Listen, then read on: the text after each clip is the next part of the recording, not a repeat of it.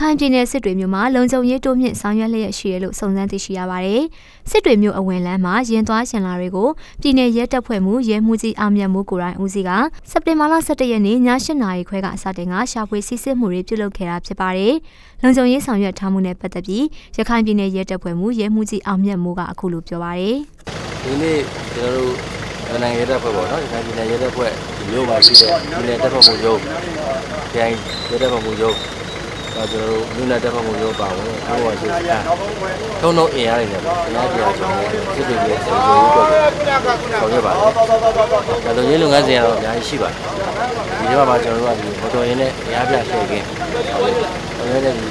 စစ်တွေမျိုးဝင်နေတာဆိုတာမင်းဝင်ပေါ့ပေါ့နော်။ကျောင်းစုလမ်းမကြီးတိုင်းဝင်လာမယ်။တကယ်တွေကားတွေဒီ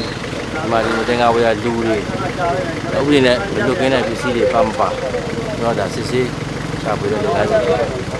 ဒီနေရာတည်းမဟုတ်ပါဘူးမြို့မှာရှိတဲ့ချက်ချက်ကြားတဲ့ကျွန်တော်တို့မိဆက်လမ်းဆောင်လိုနေရာမျိုးတွေကကျွန်တော်တို့ဒီသားမြင်မဲ့သွားတဲ့လမ်းပေါ့နော်ရေးကြည့်တဲ့အစွန်ဖျားနေရာမျိုးစပြစ်ဆိုရှာပြတဲ့လုပ်ငန်းတွေလုပ်ပါမောင်းတော်ဒေသမှာဖြစ်တဲ့ဖြစ်စဉ်ကတမတော်နေမှာရေမြေရှင်းလင်းလုပ်ငန်းတောင်းဆောင်ရွက်နေတဲ့အချိန်မှာကျွန်တော်မြန်မာနိုင်ငံတပ်ဖွဲ့ပြည်လုံးရေးတောင်းယူထားတာဖြစ်ပြီးဒီတောင်းဝတရားနဲ့အညီမြို့ရတော်မျိုး နမောတော်ဒေသပြည်ဆက်ဆက်ဆက်ပြီးတော့ဆောင်ရွက်ပေးနေကြတယ်ကျွန်တော်ရတဲ့ဖွဲ့အနေနဲ့ကတော့ဒါကတော့ရေးဘော်ကာလခေါ်ပါတော့နော်ရေးကြီးကာလရေးဘော်ကာလဒီကနေ့ကျမ်းမဲ့သောကြောင့်ဒီလိုချင်းချောက်ခံရတဲ့အချိန်မှာခုလိုအင်အားသုံးပြီးတော့ BBC နဲ့မြို့လုံခြုံရေး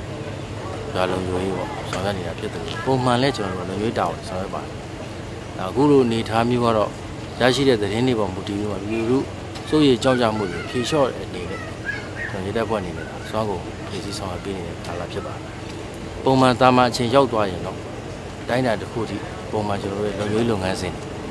ခုလောက်အင်အားမများတော့လေနေ့စဉ်ဆောင်ရွက်နေရှိပါတယ်ဆက်ပြီးတော့လည်းကျွန်တော်ဆောင်ရွက်ပါမယ်ကျွန်တော်တို့ဒီနေမြေကန်ပြည်သူလူထုအနေနဲ့ကတော့ကျွန်တော်ဒီလက်ကင်းနေဆောင်ရွက်တဲ့ပုံမှာပို့ပြီးတော့ယုံကြည်အားကိုးမှုရှိလာပြီးတော့သတင်းတွေပြတာရှိပါတယ်အ ခုချိန်ထိကတော့တူတူခြားခြားပေါ့သူတို့ရဲ့အမျိုးရေးကိုချင်းချောက်နိုင်တဲ့သတင်းစကားမျိုးတော့ရရှိခြင်းမရှိသေးပါဘူးသို့တော့ဒီလူလူကိုမေတ္တာရက်ခံလို့တာကတော့ကျွန်တော်အခုတက်နေတဲ့အချိန်မှာနောက်ဆက်ဖြစ်စည်းလို့တဲ့ကြက်မောက်သမားတွေဟောရှုနေပြီးတော့ကျွန်တော်လစ်တဲ့အချိန်မှာလူမျိုးပေါ့ဆတဲ့အချိန်မှာလူမျိုးပေါ့ရောက်ပြီးတော့ဖြစ်စဉ်တွေမဖြစ်အောင်အားလုံးကလူမျိုးသတိလူမျိုးအတိနဲ့တောက်ကြည့်ပေးနေ တယ်တို့တွေသတင်းတွေပေးပါအဲမျိုးမှုကျိုးပေါက်တယ်ဆိုတော့မျိုးမျိုးပေါ့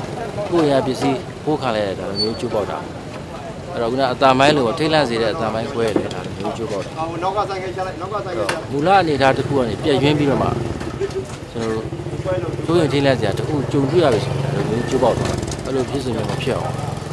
ရတဲ့ဖွဲ့နဲ့ပြည်သူလူထုနဲ့ပူးပေါင်းပြီးတော့ဆောင်ရွက်တဲ့အကြောင်း